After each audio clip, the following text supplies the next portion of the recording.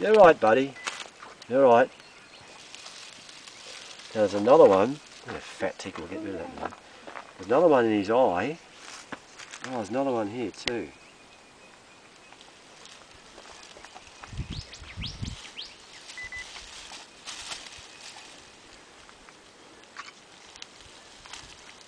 Probably thinks Did he's they kill him or they just... I don't think so, but they fatten up and lay eggs, so I'll deal with them in a minute.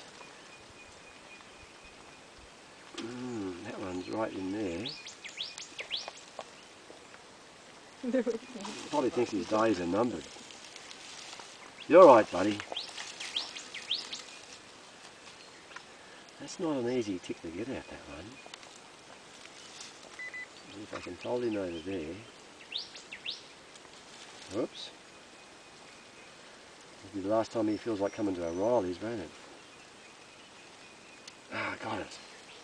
There it is. Look at that boy! Or girl? It's hard to tell whether they're boys or girls. You've got to lift up their dress and have a look. Um, He's nice though.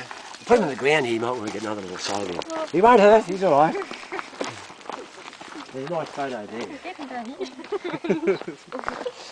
There you go, buddy. Whoops. Oh, he's going. He's going down here. You want to come down this way? It's a great photo. Front on.